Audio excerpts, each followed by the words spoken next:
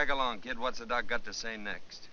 The first bath should not be administered until the baby is at least a week old. If I had a sick polecat, I wouldn't send for that Doc Meacham. A week without a bath.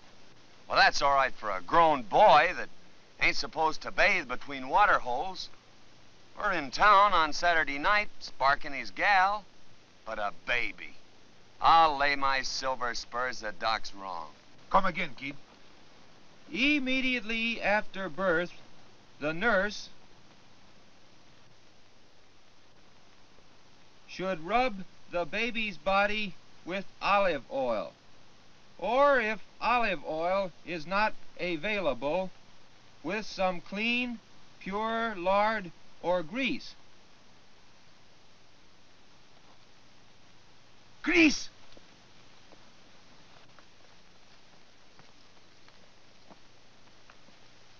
Grease! That? Sure, grease. Wait a minute.